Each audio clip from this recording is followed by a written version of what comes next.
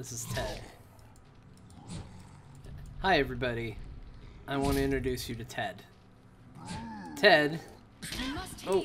is giant dick. this has happened to us a couple times in this game. It always happens with abominations. I think it's because I kill him too fast.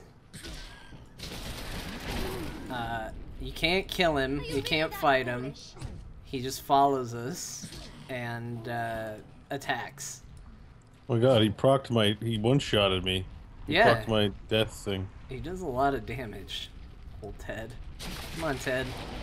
We're going through the level. Don't worry about Bo.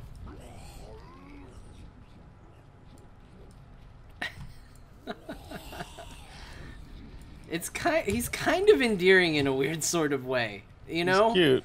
Like like- it's just like wait happy to- wait for me. I'm coming with you. he's just happy to be along, really.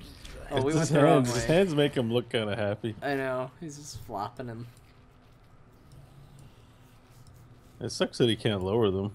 That'd be real uncomfortable. Yeah, it's an unfortunate situation. Are you still coming, Ted? There he is. I really shouldn't worry about him, especially because once bad guys show up, it's gonna be a pain in the butt to have him here. But Man, I don't even know what I'm doing with this set. when we fight, we have to fight, but we also have to avoid Ted because Ted will kill us during the fight. We don't like to think that he's like actually trying to murder us. We like to think of it more as he's just really bad at helping. No, stay away from me, Ted. Oh, go away, Ted. All right. I'm super low on health, Ted. I can't have you around me right now. It's a real fun added challenge to the game. I actually really kind of like this glitch as a result.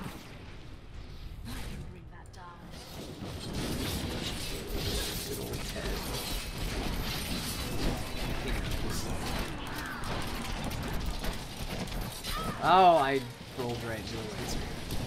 I can't even blame that one on Ted, much as I would like to. Can't blame Ted for that. one. Hundred percent.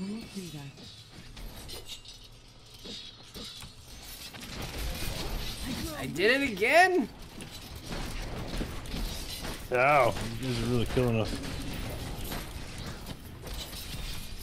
It's because I'm busy worrying about lasers and Ted and all sorts of stuff. I think they're dead. Ted's wrecking me. Mess with Ted. Oh, wait, one of them followed you. Sorry. Ah, Ted! Ted, Ted struck again. Stop it, Ted.